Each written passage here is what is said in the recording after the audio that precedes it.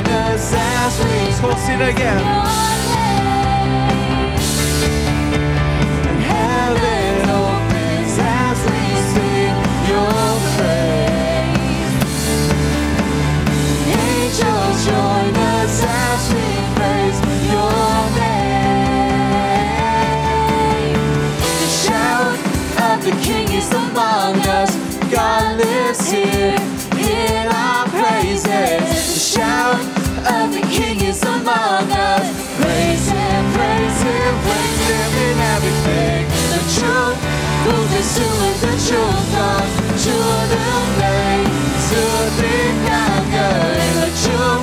Của thầy sư giữa chúng con ngợi khen chúa. Vương hầu chúa trong mọi đời ngợi khen chúa ta chúa ta.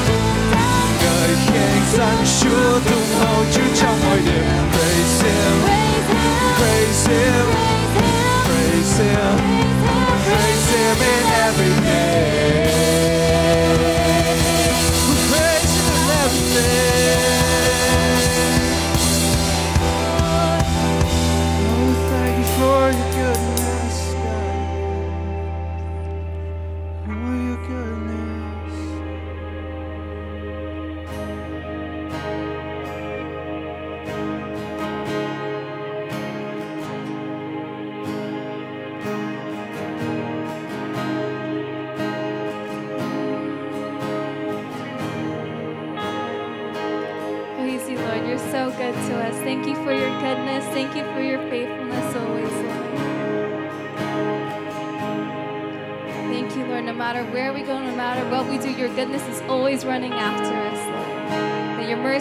follow us all the days of our lives. We thank you, Lord. You are good. You are so good.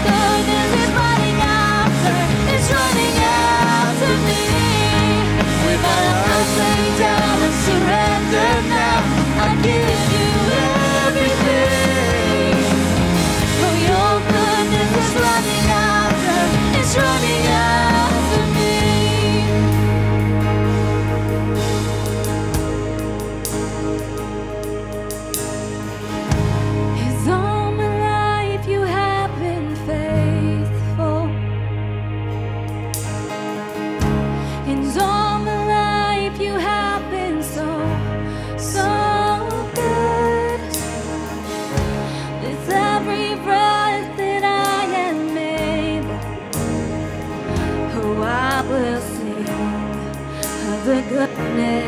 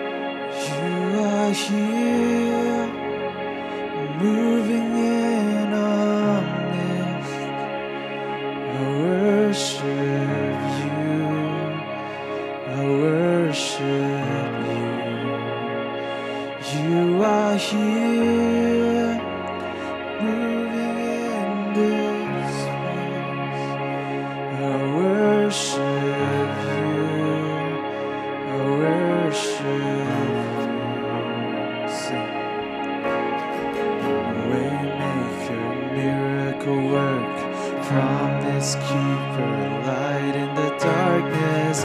My God, that is who you are. Sing that again. Waymaker, miracle work. Promise keeper, light in the darkness. My God, that is who you are.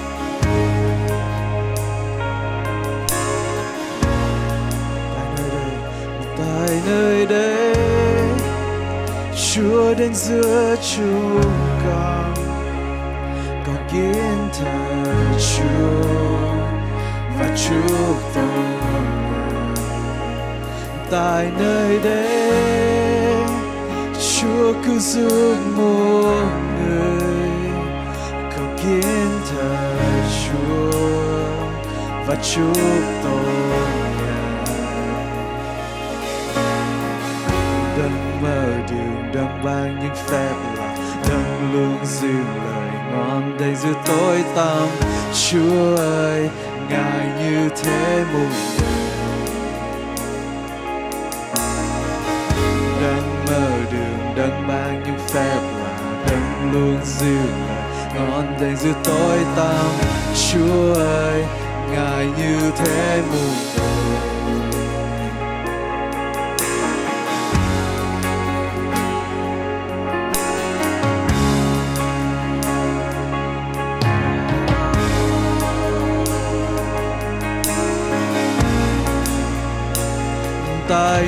đời nơi đây Chúa thâu gió tâm lòng còn kín thờ Chúa và chúc tụng Ngài. Tại nơi đây Chúa chúa mỗi cuộc đời, còn kín thờ Chúa và chúc tụng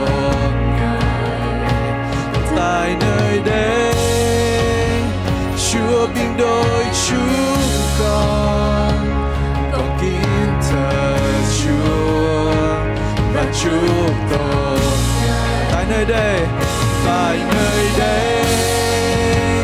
Chúa chỉ mọi tấm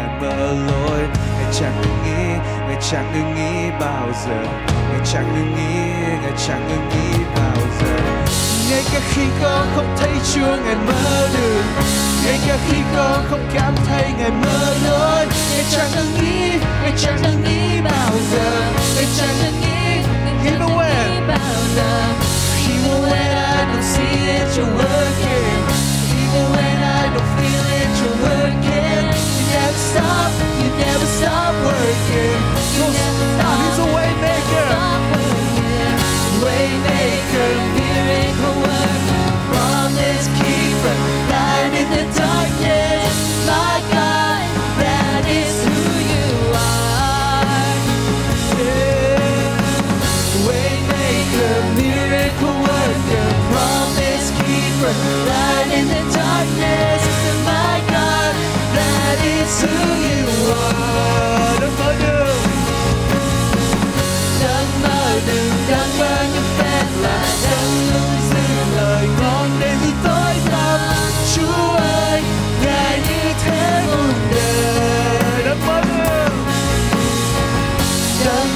Đấng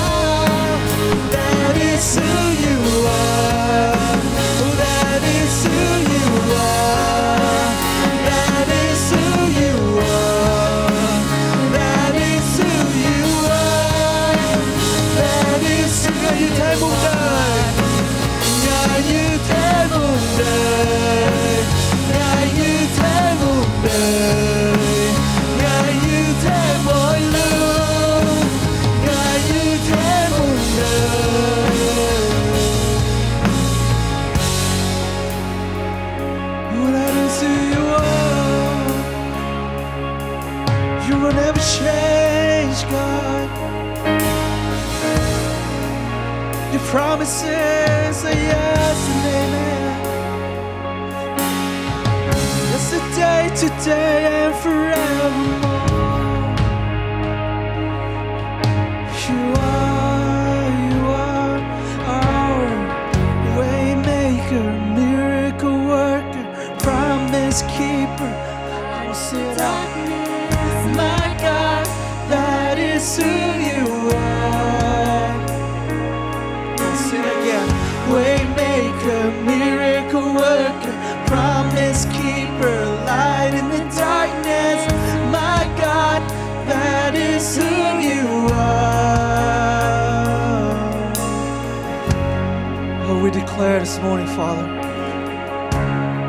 Are our waymaker, promise keeper, miracle worker. It doesn't matter what's going on in the world right now. We believe and we trust in you. Cảm ơn Ngài Chúa ơi, Ngài đấng thần tính của chúng con. Chúng con đặt niềm tin chọn nơi Ngài thôi Chúa ơi. Chúng con sẽ không sợ sợ hãi những điều gì hết. Vì chúng con tin cậy Ngài. Ngài sẽ không bao giờ thay đổi hết Chúa ơi. Can trust in you, God. As we worship. Thank you, Father, for this time of worship. As we continue with our service, Father, let your presence continue to fill, to flood where we are right now, in our room, in our home, our car, wherever we are, Father. Holy Spirit, want you speak into our hearts? Đức Thánh Linh hãy đến đi tràn những chỗ chúng ta, chúng con đang ở, Chúa ơi. Hãy phán được tấm lòng của chúng con. Hãy ban cho tình yêu của Ngài, Chúa ơi. Give us your peace, this morning, Father. Cho chúng con sự bình an của Ngài, Chúa ơi. Và giúp chúng con tin cậy nơi Ngài hơn.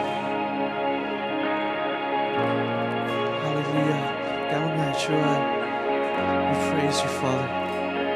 Praise you. Hello, family of God. Um, to continue to support the ministry of our church, um, if you like to give your tithe and offering, you can give online by logging on our website at walschurch.org. Um, you there are four ways for you to give. You can give online through PayPal, and um, PayPal would take debit card or credit card, or you can give online with Flockbase. Uh, another way to live give is that you um, can give through Zelle, and the information is on there for you if you want to give through Zelle. And you can also give uh, by e-check or write a check made payable to Word of Life Church. Uh, and the address, you can mail it to our church address at Word of Life Church, 11711 Trask Avenue, Garden Grove, California, 92843. All this information is on our website for you to give. Thank you so much for being faithfully given into our church. And I just have one scripture to share with you. Uh, the Word of God said in Isaiah 45, verse 3 I will give you the treasures of darkness and hidden riches of secret places, that you may know that I, the Lord who call you by your name, am the God of Israel. And so, as you obey in your tithe and, and, and, offering and give to the house of God cheerfully, the Lord says that He will give you the treasures of darkness and hidden riches in the secret place. God bless you and thank you. Xin chào mừng gia đình Hội Thánh Lời Sống sáng hôm nay. Good morning and greetings to uh, our beautiful family of God. Chúng tôi xin uh, chúc mừng các bà mẹ ngày hôm nay bởi vì ngày hôm nay là ngày của các bà mẹ. And happy Mother's Day to all the beautiful mother out there. Chúng tôi uh, cảm ơn Chúa về những điều tuyệt vời mà quý bà, những người mẹ đã làm cho gia đình của mình, cho cộng đồng cũng như cho hội thánh. And we want to thank you all mothers. You are amazing. You're doing a wonderful job for your family, uh, the community and also your church. Và chúng tôi uh, xin chúc phước uh, cầu nguyện Chúa ban phước cho quý vị trong suốt ngày hôm nay. Quý vị sẽ có những thì giờ ấm cúng uh, với gia đình của mình. Yeah, and we just want to pray that God blessing will be upon you as you take time to celebrate Mother's Day with your family. Amen. Và hôm nay thì uh, lời của Chúa đến với chúng ta, chúng ta sẽ học về uh, quyền năng trong ân điển của Chúa. So this morning with the Word of God, uh, we'll be talking about the power of God's grace. Và như quý vị biết là tất cả chúng ta ở khắp nơi trên thế giới đang trải qua một cái giai đoạn khủng hoảng rất là khó khăn. And as you all know, uh, many people in the world, including us um, and uh, the members of our church, uh, we're all going through a very challenging time in the world right now. Và chính vì vậy mà tất cả chúng ta bất luận chúng ta là người mẹ, người cha hay một người con trong gia đình, chúng ta cần ân điển của Chúa. And you know, whether uh, you play the role of a mother, a father, uh, or a son or a daughter, we all need the grace of God. Và những nguyên tắc mà chúng ta sẽ học được từ trong Kinh Thánh hôm nay And the biblical principle that we will be uh, learning today, sẽ cần thiết cho tất cả mọi người trong chúng ta. and it's going to apply to all areas of our lives. Và um, bởi vì ngày hôm nay là ngày lễ hiền mẫu, ngày của những người mẹ, do đó chúng tôi sẽ có những lúc chúng tôi sẽ nói nhiều về những người mẹ. And because today is Mother's Day, so we will focus talking about moms. Nhưng mà tất cả những nguyên tắc này sẽ có thể áp dụng cho tất cả mọi người trong chúng ta. However, um, the principle that we'll be talking about here will be should be able to apply in all of our lives. Amen. Và đầu tiên thì chúng ta sẽ xem trong uh, sách Khải Huyền chương 22 câu 21. Let's look at Revelation chapter 22, verse 21. Amen. À, đây là điều à, lời của Chúa um, dạy cho chúng ta và sứ đồ răng dưới sự hướng dẫn của Đức Thánh Linh cầu nguyện cho tất cả chúng ta là con cái Chúa. So in Revelation chapter 22, verse 21, uh, John is saying here about the Word of God, how we apply this in our life. Cầu xin ân điển của Chúa là Đức Chúa Giêsu ở với mọi người. Um, and he says, The grace of our Lord Jesus Christ be with you all. Amen. Đây là một câu chúc phước mà chúng ta à, đọc thấy nhiều lần trong các à, thư tín của Tân ước. And this is a phrase that we see um, uh, people blessing each other in the New Testament. Và Đức Chúa Trời muốn dùng những cái lời chúc phước này để mà nhắc nhở và nói với chúng ta rằng Ngài đã ban ân điển của Ngài cho chúng ta rồi. And so God is trying to get across to us that He already blessed us with His grace. Amen. Tức là ân điển của Chúa ở với chúng ta. And uh, the Bible said again and again that God's grace is with us. Và lời chúc phước ở trong cái câu kinh thánh này đó là nguyện xin ân điển của Chúa ở cùng với tất cả anh chị em. And so the blessing of God here is pouring out on us. And He said that the grace of our Lord Jesus Christ be with you all. Amen. Và ở đây chúng ta cũng thấy cái chữ mọi người trong câu kinh thánh này. And so when you see the word you all here, Trong đó bao gồm những người mẹ cũng như là tất cả mọi người trong chúng ta. so word all includes mother, father, sons, and daughters, all of us. Và cách mà chúng ta đáp ứng với những lời chúc phước như vậy trong kinh thánh đó là chúng ta đáp lại là Amen. And that's why we need to respond with amen. Vâng, ân điển của Chúa ở cùng với tôi. We basically want to say that yes, God's grace is with me. Amen. Và như vậy thì kế tiếp chúng ta tìm hiểu xem ân điển là gì. And so let's us come to understand what is grace then. Và chúng ta biết một cách hết sức quen thuộc đó là Kinh Thánh cho chúng ta biết là chúng ta được cứu chuộc bởi ân điển và nhờ đức tin. Now the Bible tells us that we are saved by grace through faith. Và Kinh Thánh tức là lời của Chúa cũng dạy chúng ta là sau khi chúng ta được cứu chuộc thì chúng ta tiếp tục sống cũng với cái nguyên tắc đó. And the Bible tells us that because we're saved by grace through faith, after we're born saved again, that's how we need to continue our life and our journey with the Lord, living by grace through faith. Amen. Đó, đó là cái nguyên tắc và ân điển tức là điều tức là cái phần điều mà Chúa làm cho chúng ta. See, grace is something that Jesus Christ has already accomplished on our behalf. Và đức tin là cái phần của chúng ta để chúng ta tiếp nhận những cái ơn phước của Chúa qua ân điển của Ngài. And faith is really stretching our hand out and receive what grace has been provided through Jesus Christ. Sau đây chúng tôi à, chia sẻ với quý vị một số những cái định nghĩa của ân điển. So, what are some of the definitions of grace? Thứ nhất thì ân điển là tình yêu thương và là ân huệ của Chúa mà chúng ta không thể nhờ việc làm mà đạt được. And so the first definition of grace is basically unmerited favor or unmerited love from God that we receive by faith. It's not of our works, but it's a free gift from God. Chúng ta chỉ có thể tiếp nhận bằng đức tin mà thôi chứ không thể dựa vào việc lành của chúng ta để mà có được ân điển của So Chúa. the grace of God is basically an unmerited favor of God that we can only receive by by faith, and uh, we can't work or earn to receive that grace. Một định nghĩa nữa của ân điển đó là ân điển là nguồn của mọi lợi ích và phước hạnh mà chúng ta tiếp nhận từ nơi Chúa. Another definition of grace is grace is a source of all blessing that we receive from the Lord. Hay là nói một cách khác là mọi điều tốt lành đến với đời sống chúng ta đều là kết quả của ân điển của Chúa. In other words, like everything that we receive, all the channel blessing that come into our life is because of grace. Amen. Và một định nghĩa nữa đó là ân điển chính là cái khả năng do Chúa ban cho để giúp chúng ta làm những gì Ngài kêu gọi chúng ta làm. Grace, another def- definition of grace is that uh, God's divine ability flowing through us enable us to do uh, on something that we cannot do on our own. Và ân điển cũng là quyền năng của Đức Thánh Linh trong chúng ta để giúp chúng ta làm những gì lời Chúa và lẽ thật đòi hỏi chúng ta phải làm.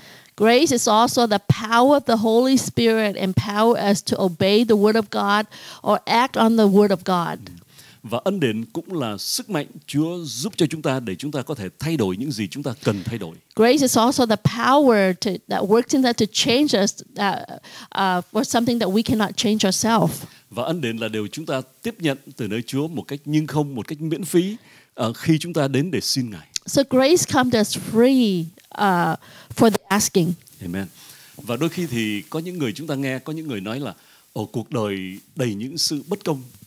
Sometimes uh, some people say that, well, you know what, life is not fair. Nhưng mà ờ, tuy nhiên thì, thì thường thường nhiều người họ, khi mà họ nói những cái câu như vậy đó họ ờ, nói với một cái với một cái nhìn với một cái quan điểm tiêu cực. And when people say that life is not fair, it probably comes from a negative perspective. Có nghĩa là khi họ nói là à, cuộc đời đầy bất công tức là họ nói về là họ, chính họ họ bị rất nhiều thiệt thòi. And when they say that life is not fair, because when they look at their life, they see a lot of bad things that happen to them. Ừ.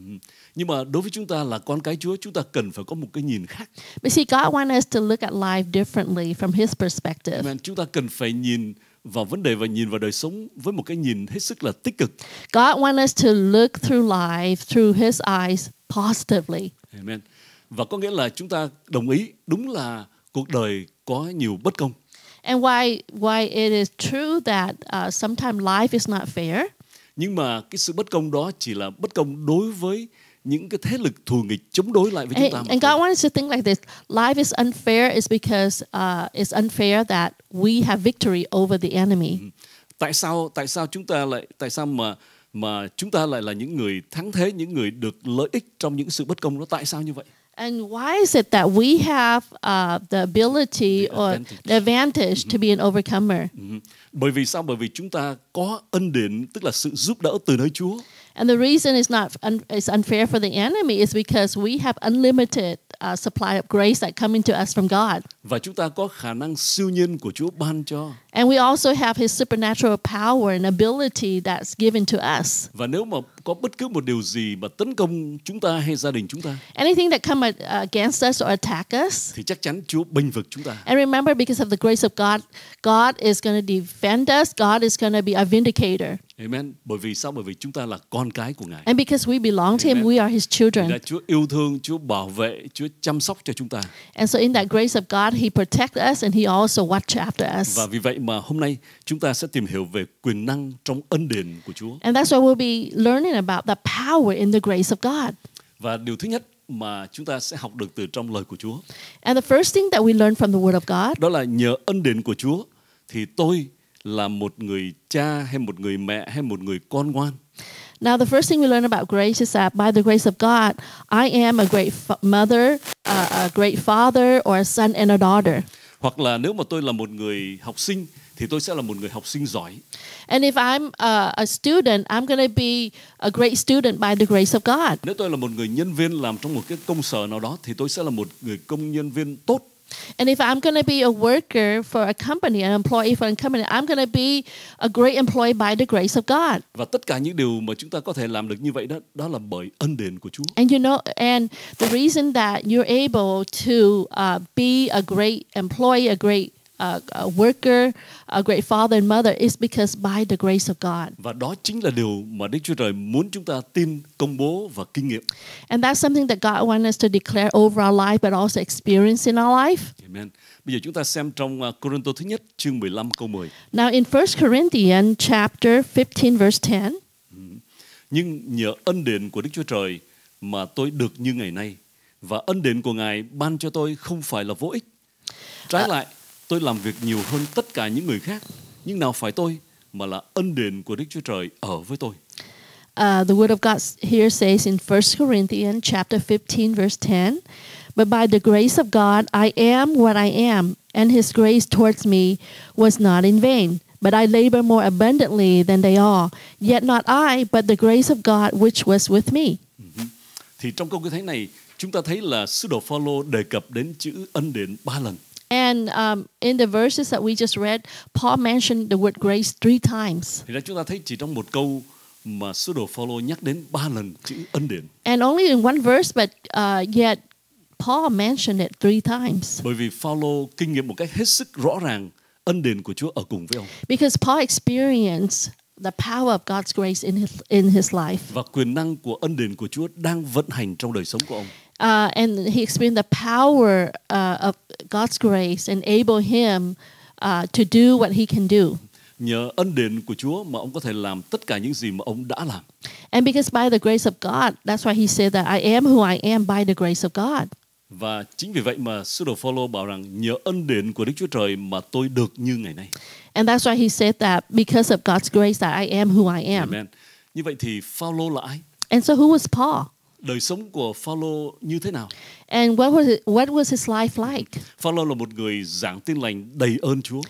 Paul was a minister uh, that walked and preached in the power of the Word of God. và ông đã thực hiện được trọn vẹn ý muốn của Chúa cũng như mục đích của Chúa cho đời sống của ông. And Paul uh, was a minister that succeeded in the will of God that he has for him. Nhưng mà đồng thời khi chúng ta đọc Kinh Thánh và đọc về cuộc đời của ông thì chúng ta cũng thấy rằng But when you read about the life of Paul, là trong lúc mà ông theo đuổi và thực hiện ý muốn của Chúa cho đời sống của ông as he followed the will of God for his life, thì ông đã phải đối diện với rất nhiều thử thách khó khăn. um, he has to face many difficulties and trials. Và chúng ta cũng vậy khi chúng ta sống cho Chúa, And remember that when we live for God in this life, khi chúng ta trong vai trò của một người cha hay của một người mẹ and we when we set our hearts to be um, a father or a mother, và chúng ta quyết tâm là nuôi dưỡng dạy dỗ con cái chúng ta theo đường lối của Chúa and as parents, we want to raise up. We want our heart is to raise up our, our, our children that loves the Lord, that walk in the ways of God. thì sẽ có những khó khăn và thử thách xảy ra.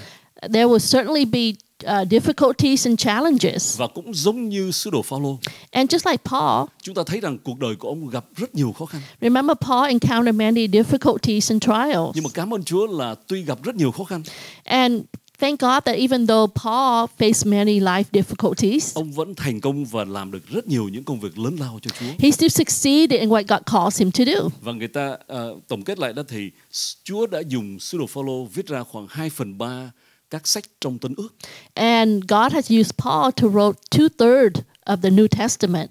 và ông ông kết luận rằng ông làm được tất cả những điều đó là nhờ ân đền của Chúa đã giúp đỡ cho ông. And he said that, you know, he's able to do that because of the grace of God in his life. Amen. Và điều đó cũng đúng với với quý bà là những người mẹ trong hội thánh ngày nay. So that's also true for us mothers Khi quý today. vị, khi quý vị ờ, nuôi nuôi dưỡng dạy dỗ con cái của mình And when we try to raise up our children, thì sẽ có những lúc quý bà cảm thấy giống như là mình gặp phải những hoàn cảnh mà phải bó tay không không biết phải làm sao. and sometimes the moms feel that um, they don't have the enough strength or they feel that it's an impossible situation. Nhưng mà cảm ơn Chúa lời của Chúa cho chúng ta là Ngài ban ân điển cho những người mẹ. And God would uh, come to you this morning to encourage you that He's given you the grace as mother. Amen. Bởi vì sao? Bởi vì Ngài trong tất cả mọi công việc chúng ta làm đó, Chúa muốn chúng ta thành công. And in, it's in God's heart, it's in God's will that in everything that we do in life, He wants us to do uh, do it well. Và Ngài muốn cho chúng ta có sự đắc thắng trong đời sống của And mình. He wants us to uh, do it well, but also succeed in what we're doing. Và để giúp cho chúng ta có thể đắc thắng và thành công như vậy thì Ngài ban ân điển của Ngài cho chúng ta. And He wants us to overcome. In order for us to succeed what He wants us to do, He would have to give us His grace. Amen. Và cũng giống như là đồ Phaolô có thể kết luận như thế này là tôi được như ngày nay là nhờ ân điển của Chúa ở cùng tôi. And that's why Paul proclaimed, I am who I am today is because by the grace of God. Và khi mà khi mà tôi à, à, soạn cái bài này và tôi đọc đến cái câu kinh thánh này And when I prepared this sermon, I, I come across this uh, scripture, thì tôi mới Chúa mới nhắc cho tôi nhớ lại.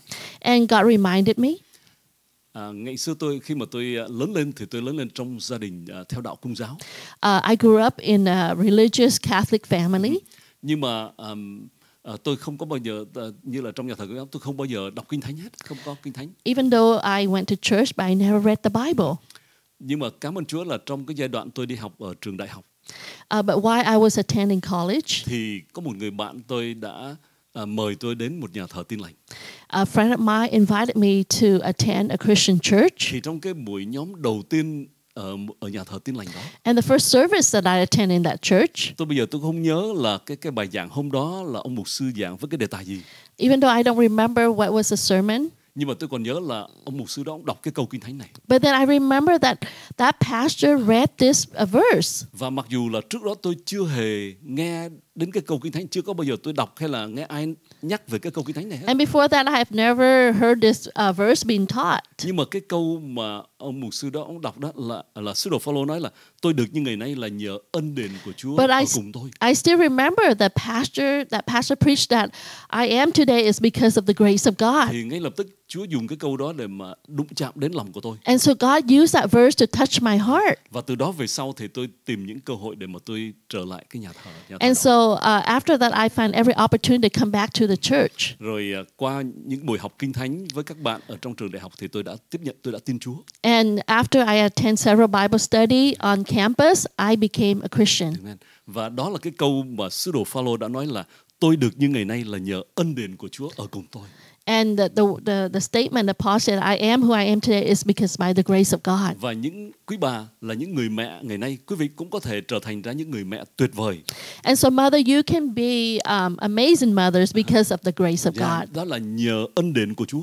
And that's because only God's grace will help you to be amazing moms. Và khi mà các bà, quý bà gặp những hoàn cảnh khó khăn thì hãy bắt chước theo gương của sứ đồ Phaolô. And, and mothers, when you are going through difficult times or you're facing challenging time, look at Paul's example. Ừ.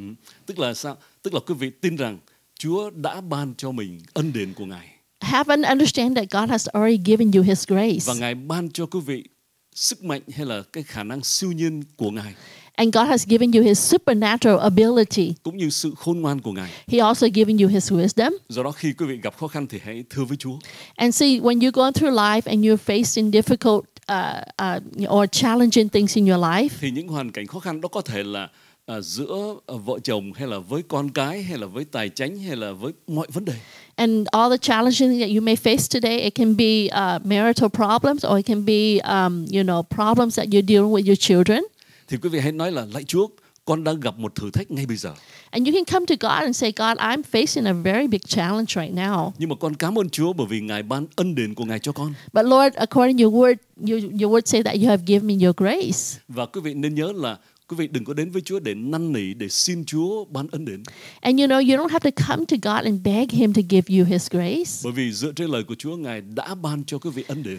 Now, according to the word of God, it's already been done. His grace has already been given to you. Giờ này quý vị chỉ cần cần tiếp nhận bằng đức tin And all you have to do is stretch out your hand, Lord, I receive your grace for my life. và, và cảm ơn Chúa về ân điển của Chúa. and say, Lord, I thank you for your grace. Bởi vì như là lời cầu nguyện hồi nãy của ở trong uh, Khải Huyền đó là ân điển của Chúa ở với anh chị em. And just like we read from the book of Revelation, that the grace of God is with you. Do đó hãy nói là cảm ơn Chúa đã ban ân điển của Ngài cho con. So continue to say, God, I just thank you that your grace is already available to me. Ngài ban cho con sự khôn ngoan của Ngài. Lord, I thank you that you have already given me wisdom. Ngài ban cho con khả năng siêu nhiên của Ngài. Lord, I thank you that you already given me your supernatural ability. Và nhờ ân điển của Ngài, con có thể làm được những điều con cần làm. And because by your grace, I can do what you call me to Do do. đó con sẽ đắc thắng và thành công. And Lord, I just thank you because of that. Because of your grace, I will be um, victorious. Và bởi ân điển của Chúa, And because con, of your grace- con sẽ là một người mẹ tuyệt vời. And because of your grace, I can be an amazing God, uh, là- amazing mom. Hay tôi sẽ là một người cha tuyệt vời.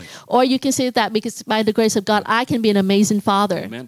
Thành ra chúng ta hãy à, quý bà hãy hãy đọc và suy gẫm những câu kinh hãy nói về người mẹ. And so, ladies, I just want to encourage you to meditate and read about the grace of God that's available for you as a mother.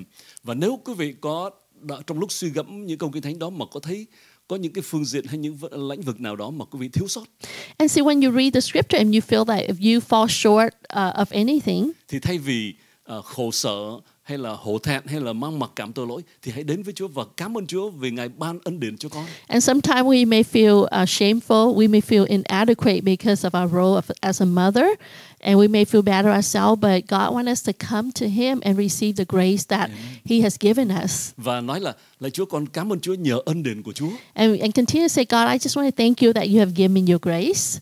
Con sẽ trở thành một người mẹ giống như là ở trong kinh thánh. And your grace will enable me and equip me to be the mother that you have made me to be according to scriptures. Thì đó mỗi chúng ta hãy làm những gì trong khả năng của mình có thể làm được.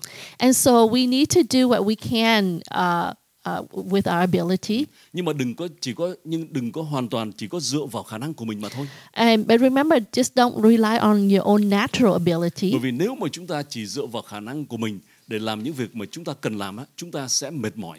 See, whenever you rely uh, upon your own natural ability or upon your natural strength, you will be worn out and tired. Chúng ta sẽ chán nản tuyệt vọng bởi vì chúng ta không thể dựa sức mình để làm được tất cả những điều đó. You will become easily easily discouraged because you know that you know uh, in your own human strength, you're not going to be able to accomplish what you want to accomplish. Nhưng mà hãy luôn luôn cảm tạ Chúa về ân điển của Ngài. Continue to always give God thanksgiving of His grace over your life. Thì khi mà chúng ta đến với Chúa và nhờ cậy ân điển của Ngài như vậy And when you come to God and depend on His grace, thì quyền năng của Chúa sẽ vận hành một cách tối đa trong đời sống của chúng and ta. when we release our faith to receive the grace of God, you're going to feel that power coming into you to do what He calls you to do. Và điều thứ hai đó là ân điển của Chúa sẽ sẽ làm cho quyền năng của Ngài vận hành một cách tối đa trong đời sống của mỗi người trong chúng ta. And so the second thing is that God's grace will maximize His power over your life. Amen. Và chúng ta xem trong Corinto thứ nhì chương 12 câu 9. Remember, God's grace will maximize His power over your life. And in 2 Corinthians chapter 12, verse 9, đây là một cái kinh nghiệm mà mà sứ đồ Phaolô một cái bài học mà ông đã học được trong đời sống của ông. And this is what Paul learned um, from his life. Nhưng Chúa phán rằng ân điển của ta đủ cho ngươi rồi. Vì sức mạnh của ta nên trọn vẹn trong sự yếu đuối. Vậy tôi sẽ rất vui lòng khoe mình về sự yếu đuối của tôi, hầu cho sức mạnh của Đấng Christ ở trong tôi. And he said to me, My grace is sufficient for you, for my strength is made perfect in weakness. Therefore, most gladly, I will rather boast in my infirmities, that the power of Christ may rest upon me. Amen. Và qua câu thế này chúng ta thấy được Đức Chúa Trời của chúng ta là đấng tốt lành. And so, we, through these verses uh, of scripture, we can see that our God is an amazing, good God. Ngài yêu thương những người mẹ, những người cha cũng như là sứ đồ Phaolô và mỗi chúng ta vậy. He's a God who loves um, every father, every mother, every person. Ừ. Và chúng ta thấy ở đây là sứ đồ Phaolô học được một bài học hết sức quan trọng trong đời sống của một người theo Chúa. And so, Paul learned an amazing thing uh, in the life of a believer. Đó là khi chúng ta yếu đuối And he learned, Paul said that when we are weak, thì chúng ta sẽ kinh nghiệm là ân điển của Chúa đủ để cứu giúp cho chúng ta. when we feel weak, uh, we will experience God's grace come to us to maximize His strength in us. Amen. Và sứ đồ Phaolô vì vì điều đó mà sứ đồ Phaolô vui mừng. And that's why he, Paul rejoiced. Ông sẵn sàng thừa nhận sự yếu đuối của mình. Paul was willing to admit his weakness. Ông không có giả tạo đức tin. Um, he's not like faking his faith. À, tức là ông không có giả bộ hay là bề ngoài thì ông bảo ờ, tôi tôi tôi không có một cái sự yếu đuối nào hết. See, Paul, uh, Paul does not deny that he doesn't have any weakness. Bởi vì sao? Bởi vì đức tin thật sẽ không có phủ nhận sự thật. So faith doesn't deny the truth or the reality what we are experiencing right now. Nhưng mà đức tin thì sẽ giúp cho chúng ta vượt lên trên những sự thật thuộc thể. But the eyes of faith always look um, uh, above, uh, beyond the natural truth. Tức là nhìn vượt lên trên những sự thật thuộc thể mà mắt chúng ta nhìn thấy đó, vượt lên trên. Real faith looks beyond the natural realm, the natural truth what you are going through right Để now. mình nhìn thấy lẽ thật trong lời của Chúa. Real faith looks at the truth of God's word. Tức là lẽ thật trong lĩnh vực thuộc linh trong lời của Chúa. Real faith looks uh, at the, the truth of God's word and believes in the word of God. Và đức tin thật sẽ tin cậy vào trong lời của Chúa. Real faith believes what the word of God says. Bởi vì nếu mà nếu mà chúng ta mà không sẵn sàng thừa nhận những yếu đuối của mình See, if we're not being uh, realistic and not willing to admit our weakness, mà có thể nói là tất cả mọi người chúng ta ai cũng có những lúc chúng ta có những sự yếu đuối. and all of us have weakness and imperfection. À, nhưng mà nếu mà chúng ta không thừa nhận cái những yếu đuối của chúng ta But if we do not uh, um, admit our weakness và không có tin cậy vào sức mạnh của Chúa and we don't rely on God's grace or God's strength, thì chúng ta sẽ dựa vào sức riêng của mình để mà tìm cách để mà vượt qua những khó khăn đó. if we don't rely in God's grace, then you're going to rely on your own strength, your own ability to overcome the challenging thing that you face in life. Mà sự thật đó là khi mà chúng ta chỉ có nỗ lực bằng sức riêng của chúng ta đó thì chúng ta hết sức là yếu đuối, chúng ta không có vượt qua được. Anytime that we, we rely in our own strength, uh, you won't be able to overcome and you will feel discouraged and you will feel weak. Và chúng ta sẽ ngã lòng, sẽ chán nản. Mà Chúa thì Chúa không muốn cho chúng ta hành động và cư xử như vậy. And it's easy to become frustrated. It's easy to become disappointed when we uh, walk in our own ability or, or, or in our own strength. And God doesn't want that to happen. Thành ra sứ đồ Phaolô muốn nói với chúng ta điều này. And that's why God is telling, I mean, Paul is telling us this. Đó là khi tôi có sự yếu đuối trong đời sống When I'm facing a weakness in my thì life, tôi kinh nghiệm thấy là là ân điển của Chúa có đầy đủ sức mạnh để mà cứu giúp tôi. Paul is saying that when he faced, when he have a weakness in his life, he said that God's grace is sufficient for him. Do đó tôi tin cậy Ngài và tôi tin cậy rằng ân điển của Chúa đang ở với tôi. And so that's why he said that he trusts God and he, um, he thank God that his, his grace or his power is maximized in his life. Và chính vì vậy mà ông bảo là tôi ngày nay tôi như thế nào đó là nhờ ân điển của Chúa. And that's why he said, I am who I am is by the grace of God. Amen. Amen. Thành ra ông bảo là khi tôi yếu đuối tức là Chúa ban sức mạnh cho tôi. And so what Paul is saying that when I'm weak, uh, God is giving me his strength. Và bởi vì Chúa ban sức mạnh cho tôi do đó tôi không còn yếu đuối nữa. And because God given me his strength, I'm no longer weak anymore. Và bởi vì Chúa ban sức mạnh cho tôi do đó tôi đắc thắng và tôi thành công. And because God given me his uh, his grace or his strength, I can overcome what I need to overcome. Thành ra khi quý vị có những lúc mà khi quý vị cảm thấy yếu đuối hoặc là ngã lòng And uh, there will be time in our life when you feel discouraged, when you feel weak. thì điều đó không có nghĩa là quý vị là một người mẹ hay là một người cha dở tệ đâu. And remember that you will go through difficult times. It doesn't mean that you are a, uh, a bad mother or a bad father, Và cũng không có nghĩa là quý vị là một người tín hữu xấu xa. or it doesn't mean that you're a bad Christian. Nhưng mà điều đó chỉ có nghĩa là quý vị là một người bình thường như bao nhiêu người And um, the things that you're going through, the challenge of life, uh, all that is part of a human. Và những lúc đó cũng không phải là lúc để mà chúng ta lên án bản thân của mình. And that's not a time when you, um, you know, you uh, um, You make judgment on you yourself, judge yourself or you condemn yourself. Yeah. Và cũng không phải là lúc để mà chúng ta tin vào những cái lời dối trá, những cái lời cáo buộc của ma quỷ. And that's not the time when you're going through this discouragement that you began to listen to the lies of the enemy. Nhưng khi mà khi quý vị và và tôi khi chúng ta cảm thấy mình yếu đuối và ngã lòng Anytime that you face any challenge in life and you feel weak and you feel thì discouraged, hãy làm như sứ đồ Phaolô uh, do what Paul is doing. là chạy đến với Chúa. Run to God. Như là lời Chúa dạy ở trong thư Hebrew đó là chúng ta đến với ngôi ân điển của Chúa để nhận được sự cứu giúp của Just Ngài. like God gave us instruction with the Hebrew that come boldly to the throne of grace to receive help in time of need. Amen. Thì khi đó chúng ta sẽ tiếp nhận ân điển của Chúa để mà chúng ta tiếp The tục. throne of grace is where God, you receive the grace of God to continue your journey with Him. Và nên nhớ một cái điều mà chúng ta đã đề cập lúc ban đầu. And remember at the beginning, Đó là trong cuộc đời này có những sự bất công. remember uh, in in our life that we're uh, going It is- through, it is unfair. it is unfair. Nhưng Uh-huh. mà unfair cái sự bất công đó chỉ là đối với cái thế lực thù nghịch của chúng ta mà Remember, it's unfair for the enemy. Chứ còn chúng ta thì luôn luôn chúng ta được Chúa bảo vệ và bênh vực. But with us, we always have God's grace. That means He's out to protect us and, Amen. and vindicate us. Nên thành ra chúng ta có thể nhìn vào cuộc đời, nhìn vào những cái challenge, những cái thử thách khó khăn với một cái nhìn hết sức là tích cực. That's why God wants to train us because of His grace of us. He wants us to look at life positively. Bởi vì chúng ta có một người cha luôn luôn ban ân điển cho chúng Because ta. God's a Father that loves us and He always poured out His grace upon us. Và ân điển của Ngài sẽ khiến cho quyền năng của Ngài vận hành một cách tối đa trong đời sống của And so chúng His grace will release His supernatural ability working through us. Do đó, chúng ta cần phải đến với Chúa và thưa với Chúa là lạy cha. And uh, you can come to God and say, Father, Con cảm ơn cha I thank you, Father, vì ân điển của Ngài đang ở với con. because your grace is with me. Và ngay bây giờ ân điển của Ngài And right now, your grace vận hành trong đời sống con. is working in my life. Quyền năng của Ngài Your uh, supernatural power vận hành trong đời sống của con. is working in me. Và bởi ân điển của Chúa, And because by your con grace, sẽ không bỏ cuộc, I will not give up. con sẽ không ngã lòng, I will not be nhưng mà con discouraged. sẽ mạnh mẽ và đắc thắng. I will be strong in your grace. Amen. Amen. Hallelujah. All right. Uh, the next part of, of grace that we'll be um, uh, looking at is that number three, God, God's grace erase our mistakes and give us a new beginning. Amen. Praise God. Amen. Và cảm ơn Chúa một trong những cái uh, lợi ích nữa của ân điển của Chúa đó là ân điển của Chúa sẽ xóa sạch những lỗi lầm của chúng ta và cho chúng ta có một cơ hội mới. I repeat that again. God's grace erases our mistakes and gives us a new beginning. Ân điển của Chúa xóa sạch những cái lỗi lầm của chúng ta và cho chúng ta có một Amen. khởi đầu mới. Praise God. You know, in our journey of life, sometimes we need to start over.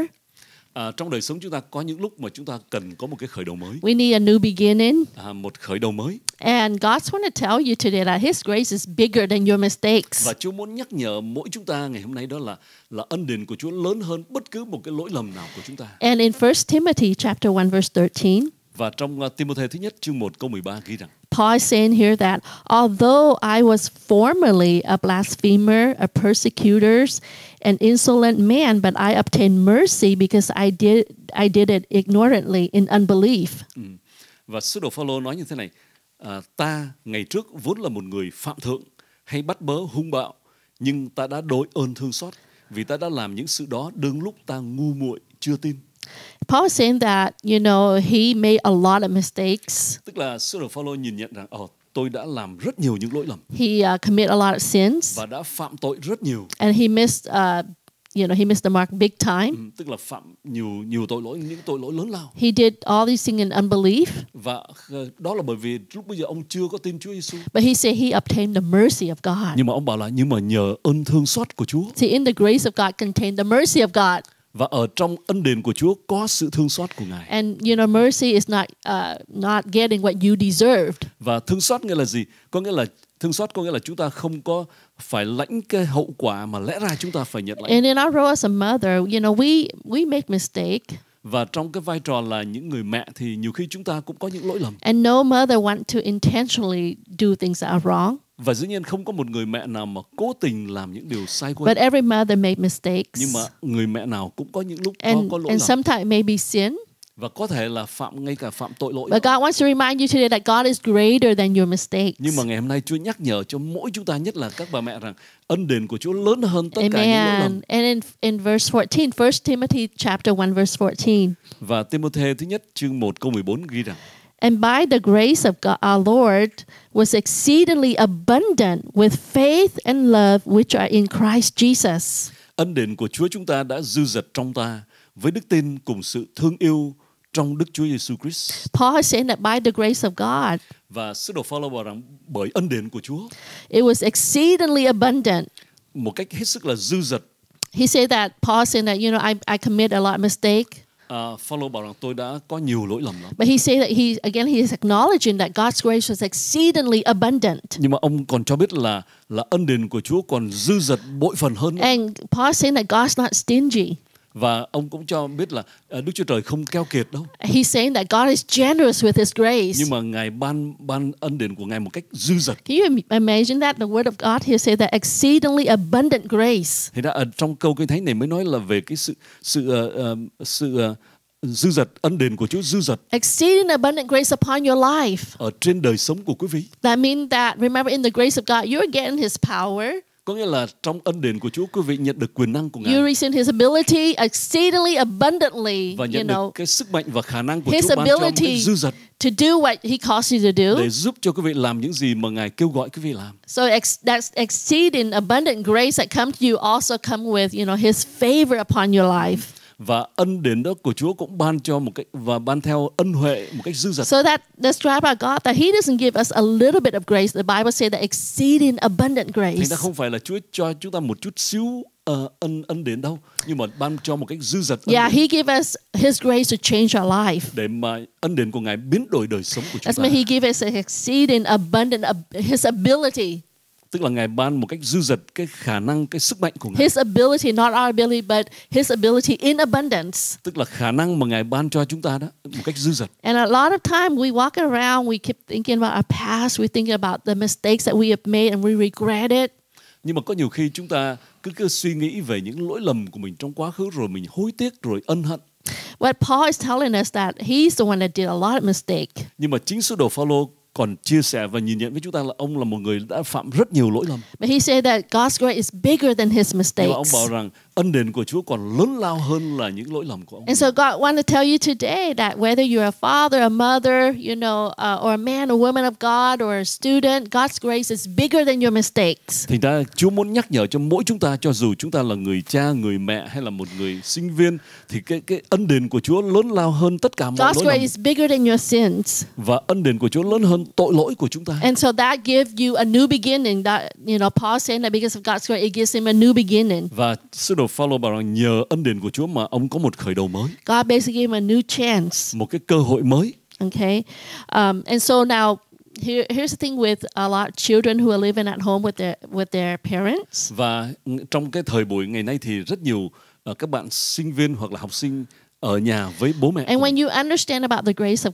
God, Và khi mà chúng ta hiểu được về ân đền của Chúa, okay, that God's given you His grace for your life, tức là Chúa ban ân đền của Ngài vào trong đời sống and no chúng ta. matter how old you are, you also need to give your parents, your mother, your father Thì, grace. thì bất luận là là các a- các em thanh thiếu niên ở tuổi nào đi nữa thì cũng cần phải à, đối xử với cha mẹ của mình với ân đền của Chúa. I'm sure that your parents has been very patient with you. They've been giving you a lot of their grace. Và tôi tin là cha mẹ của các em cũng đã đối xử với các em một cách đầy ân đền. And so uh, every mother, every father need the grace from their children also. Thành ra những người cha và những người mẹ cũng cần ân huệ ân đền à, của con cái đối với họ And as a, a role of a child in a family, và vai trò của một người con ở trong gia đình. until you become a perfect child, um, cho đến khi nào mà các em thanh thiếu niên mà trở thành ra một người toàn vẹn then you can expect your mom or your dad to be a perfect parent. thì lúc bây giờ có thể trông mong là à bố mẹ mình phải toàn vẹn mới được But that means it's, it's never. nhưng mà điều đó có nghĩa là sẽ không bao giờ xảy ra hết We're all imperfect people, bởi vì amen. tất cả chúng ta đều là những người bất toàn We need the grace of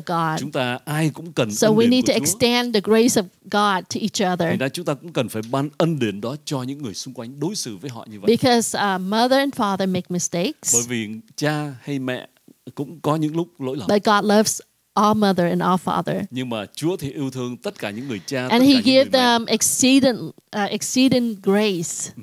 Và Ngài ban ân điển một cách dư dật. So we need to believe that and receive it. Do đó chúng ta cần phải tin và tiếp nhận.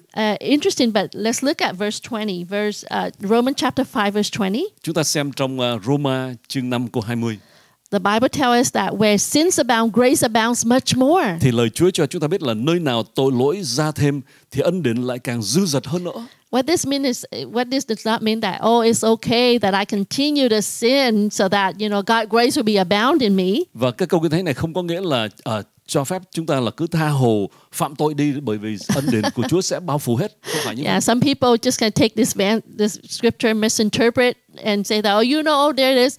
Oh, you know, uh, there's a lot of sin. I can sin, but then God's grace is going to increase in me. Có những người có thể là lợi dụng câu câu kinh thánh này để mà bóp méo đi cái cái ý nghĩa và bào chữa nó à bởi vì Chúa nói là ân điển của Chúa cao hơn cả Yeah. tội lỗi mà. what this verse means is this: Nhưng mà đây đây mới là ý nghĩa. no matter what này. mistake you have made, là bất luận là những lỗi lầm nào mà No. chúng ta đã vấp phạm, no matter what sin you have committed, bất luận là một cái tội lỗi nào chúng ta đã God's phạm, grace is greater. thì Hallelujah. ân điển của Chúa còn bao trùm còn cao hơn nữa. In the grace of God, He will forgive you. Và trong ân điển của Chúa Ngài tha thứ cho chúng And in ta. His grace, He will erase your mistake, erase your sin. Và trong ân điển của Chúa thì Ngài xóa sạch tội lỗi chúng When ta. you come to Him with a repentant heart, Và khi mà chúng ta đến với Chúa với tấm lòng ăn năn and when you come to Him, acknowledge your weakness and receive His và khi chúng forgiveness. ta đến với Chúa và nhìn nhận sự yếu đuối của chúng ta và tiếp nhận ân điển của So His grace will erase your mistake thì ân điển của Chúa sẽ xóa đi tội lỗi and give you a new beginning every day. và mỗi ngày thì Ngài ban cho chúng ta một khởi đầu mới Every day, His grace is fresh in our và life, mỗi ngày ân điển của Chúa đều mới luôn and He'll give us fresh opportunity. và Ngài cho chúng ta có những cơ hội mới And of course, you want to live in His power to quit from making the same mistake over and over again. và dĩ nhiên là chúng ta muốn nhờ cậy nơi quyền năng của Chúa để mà chúng ta đắc thắng tội lỗi và không có còn tiếp tục tái phạm nữa Okay. Now, how do we receive the grace of God? làm sao để chúng ta tiếp nhận ân điển của Chúa In Romans chapter 5, verse 2, trong uh, Roma chương 5 câu 2 ghi rằng uh, the Bible says here, Romans chapter 5, verse 2, uh, thư Roma chương 5 câu 2 uh, through whom also we have access by faith into this grace in which we stand and rejoice in the hope of the glory of God. là đấng đã làm cho chúng ta cậy đức tin vào trong ơn này là ơn chúng ta hiện đang đứng vững và chúng ta khoe mình trong sự trông cậy về vinh hiển Đức Chúa Trời. It says this verse talking about grace and faith. Và câu kinh thánh này chúng ta thấy là có đề cập về ờ, ân điển và đức tin. It says that we have access into this grace by faith.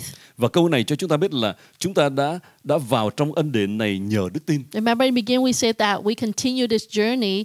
We're saved by grace through faith. Và lúc ban đầu của bài giảng chúng ta đã đề cập đến là chúng ta được cứu ờ, bởi bởi ân điển và nhờ đức tin và chúng ta tiếp tục sống như vậy. Yeah, we continue this journey, and the Bible says that we have access by faith into the grace.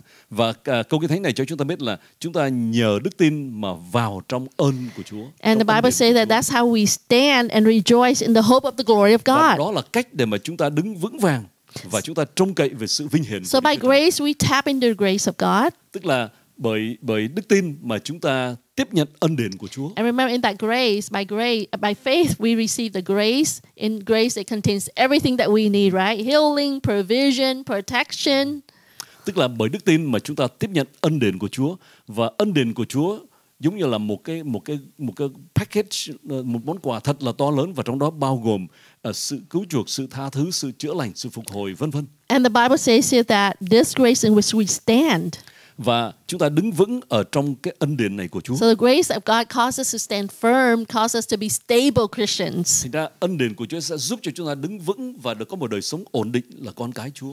And so when challenges come, thì khi mà thách thức khó khăn xảy when đến weakness come, when challenges come, khi có những lúc chúng ta cảm thấy mình yếu đuối hay là when những thử thách xảy when đến uh, mistake is made, khi chúng ta có những lỗi lầm and when we miss the mark, khi mà chúng ta phạm tội với Chúa the Bible says that we can stand strong thì kinh thánh bảo là chúng ta vẫn có thể đứng vững được because we have tapped into the grace of bởi God. vì chúng ta đã kinh nghiệm và đã tiếp nhận ân đền của And Chúa God, uh, God's grace will sustain you, will keep you strong. và ân đền của Chúa sẽ giúp cho chúng ta được vững vàng. So remember what happened. You're in the grace of Thì God. đã hãy nhớ rằng quý vị đang ở trong ân đền của Chúa And that grace or His power, His ability working through you, và ân đền của Chúa sẽ khiến cho quyền năng của Chúa vận hành trong đời sống quý vị it will help you to stand strong, và giúp cho quý vị đứng vững especially in the time that we live in right now. nhất là trong cái giai đoạn khó Right? khăn A lot of challenging that we're facing that we have never faced before. Có những cái thách thức khó khăn mà chúng ta chưa bao giờ kinh nghiệm trước đây. But it is the grace of God that you can receive fresh from Him ev- all the time Nhưng mà cảm ơn Chúa chúng ta vẫn có thể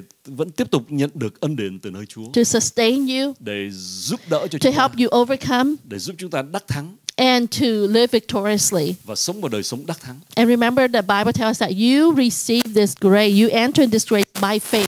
Và chúng ta nên nhớ rằng Kinh Thánh dạy chúng chúng ta là chúng ta bước vào trong ân đền này là bởi đức tin.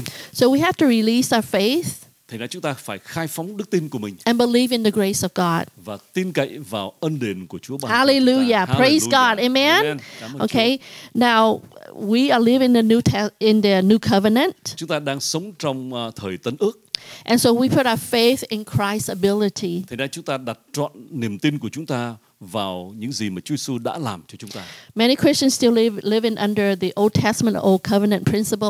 Nhưng mà có nhiều con cái Chúa, nhiều cơ đốc nhân vẫn còn tiếp tục sống trong những cái nguyên tắc của cấu ước.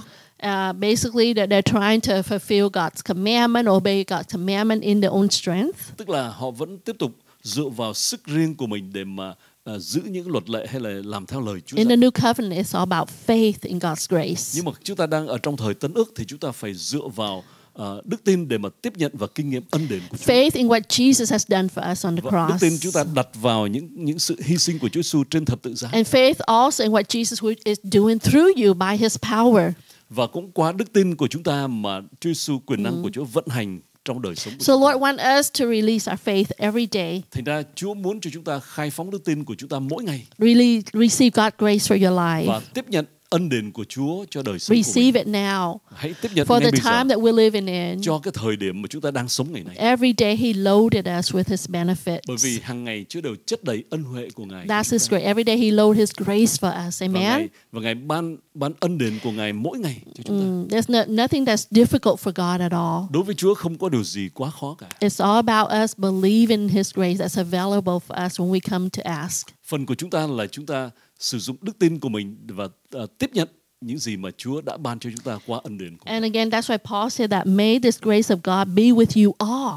và chính vì vậy mà à, mà à, lời của Chúa bảo là à, là nguyện xin nguyện xin ân đền của Chúa ở với anh em với tất Amen. cả anh em So may the grace of God be upon you as a as a mother to continue this journey, to you know serve your family, serve your children, uh, serve the community, uh, and serve the church.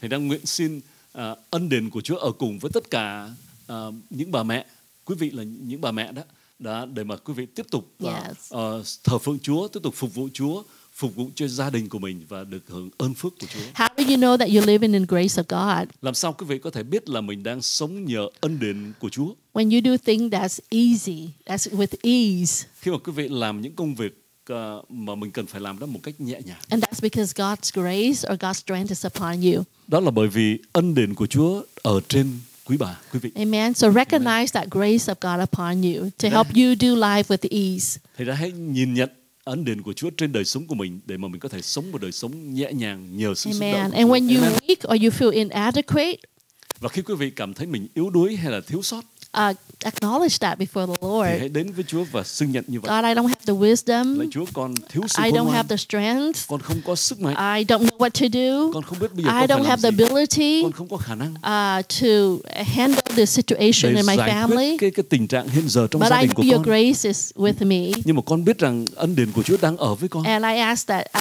receive your grace. và con tiếp nhận ân đền của Ngài. I receive your ability to do what I do in my own Con strength. tiếp nhận khả năng Chúa ban cho con mà con Hallelujah. không thể dựa vào sức riêng của con được. All right, let's go. Let's uh, join our heart and pray right now. Xin Amen. cùng hiệp ý với chúng tôi để đến với Chúa qua lời cầu nguyện. Hallelujah. Hallelujah. Father, we just want to thank you for your grace. Cảm ơn Cha, chúng con à, cảm ơn Ngài về ân điển của Ngài. Lord, your grace abound in us. Ân điển của Ngài đầy dẫy trên chúng con. And we have access to your grace by faith, Và chúng con tiếp nhận và kinh nghiệm ân điển của Ngài bởi đức tin which help us to stand strong in the time that we're living để in. giúp chúng con đứng vững trong giai đoạn khó khăn hiện giờ. We thank you that um, we have made, some of us may have made mistakes. Và cảm ơn Cha mặc dù một số chúng con là những người có những lỗi lầm Um, and I pray, God, that your grace greater than our mistake. và con cảm ơn Cha là ân điển của Ngài còn lớn lao hơn những lỗi lầm của chúng According con. to your word, Dựa trên lời của Ngài, your grace, which is your power, um, ân điển ờ, lời của Ngài và quyền năng của Ngài. your grace, which is your ability, Ân điển tức là ờ, tức là khả năng mà Ngài ban cho chúng con, your wisdom. sự khôn ngoan của Ngài You give us a fresh start. và Ngài ban cho chúng con một khởi đầu mới You give us another opportunity và Ngài ban cho chúng con một cơ hội mới so that we can succeed. để chúng con có thể thành công. We thank you that our past, Cảm ơn Cha, quá khứ của chúng con, our mistake are erased. những lỗi lầm trong quá khứ đã được xóa bỏ. When we come to you with a genuine heart, Lord, Khi chúng con đến với Ngài với tấm lòng chân thành, Lord. So we thank you, Father. chúng con cảm ơn Cha just want to thank you, God. và chúng con cảm ơn Cha. Your grace help us Ân điển của Ngài giúp chúng con to be a great mother, là một người mẹ à, tốt lành, a great husband, một người cha tốt lành, a great child, à, một người à, một đứa một người con ngoan, a great man or woman of God. một người nam, một người nữ Stretch đầy vision, lòng God. kính kính Chúa. Stretch our vision Xin à, Ngài ban cho chúng con nới rộng cái khải to, tượng của chúng to con help us see how you see us. Để chúng con có thể nhìn thấy chúng con When qua cái nhìn của Ngài.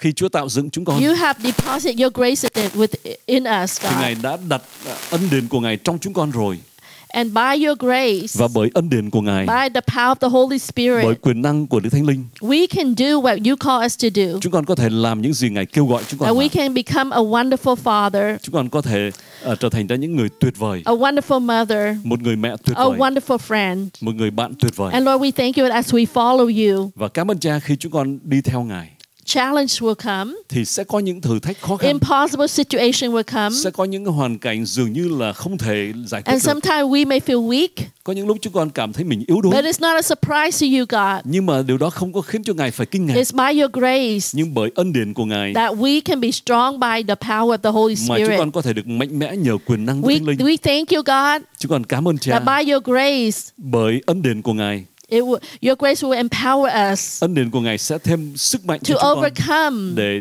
đắc thắng and to live victoriously. và sống một đời sống đắc thắng. Your grace is greater than any mistakes that we ever Ngài make. ờ, ờ, lớn lao hơn tất cả những lỗi lầm mà chúng con Your đã phạm. grace is greater than any mistake that we have made as a wife or a husband. Ờm, ân điển của Ngài lớn hơn bất cứ những lỗi lầm nào của chúng con trong vai trò là người mẹ hay là một người cha or mistakes as a Christian. hay là một ờ, cơ đốc nhân Your grace is greater than our mistake as a friend. Và ân điển của Ngài lớn hơn tất cả những lỗi lầm We của chúng thank con you for trong your vai trò là grace, một người God. bạn. Còn cảm ơn Thank Cha you for your beautiful grace, Cảm ơn God, Cha ân that you điển have tuyệt given vời us. mà Ngài đã ban cho chúng So con we can be all that you want us to để be. chúng con có thể thực hiện được cái cái chương trình và sự kêu gọi By của Ngài cho đời sống chúng con bởi ân điển của Ngài. Thank you, Father. Cảm ơn Cha. In Jesus' Chúng con cầu nguyện trong danh Amen. Chúa Jesus Christ. Amen. praise God. We we pray that you have been blessed by the message, À, chúng tôi cầu nguyện là Chúa ban phước cho quý vị à, qua lời của Ngài hôm nay. and we pray that you have a blessed time with your family today, celebrating Mother's Day. Và chúng tôi chúc quý vị sẽ có những cái thời giờ hết sức là hạnh phúc à, ở ở trong gia đình